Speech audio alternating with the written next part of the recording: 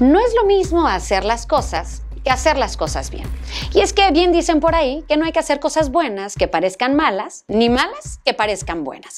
Recientemente el Cabildo de Aguascalientes, salvo el voto en contra de su servidora y las abstenciones de Citlali Rodríguez, Gustavo Granados y Marilupe Arellano, se aprobaron las cuentas públicas del Ayuntamiento de Aguascalientes de los meses de enero a marzo.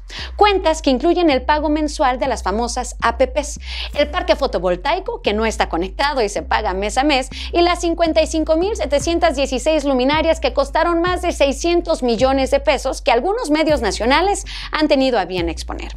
Proyectos sobre los que pesan denuncias incluso la vinculación a proceso de algunos funcionarios y exfuncionarios del ayuntamiento.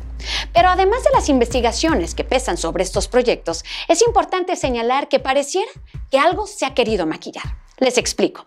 La erogación de las APPs deberían verse reflejadas en el pasivo, pues tienen un trato de financiamiento, esto con base a la ley de contabilidad y disciplina financiera. Recordemos que la fuente de pago y mecanismo de pago es con participaciones federales, por lo que se obliga a presupuestarlo y manifestarlo en los estados financieros. Sin embargo, esto no sucede. De hecho, se presenta a través de cuentas puente, como si se tratara de una inversión y no de un financiamiento. Las cuentas de orden o puente sirven para registrar operaciones mercantiles que de momento no afectan valores reales. Pero claro que afectan valores reales. Se trata de una deuda. Entonces, ¿cuánto pagamos mes a mes?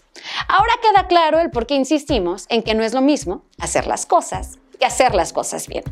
¿Cómo podríamos aprobar cuentas públicas con poca transparencia? ¿Cómo podríamos aprobar cuentas públicas con erogaciones mensuales que claramente desconocemos porque no están presentadas en los estados financieros? ¿O usted estaría de acuerdo en que le digan que debe, que se paga, sin saber cuánto le está costando en realidad, de dónde sale el recurso y a quién le está pagando? Yo tampoco.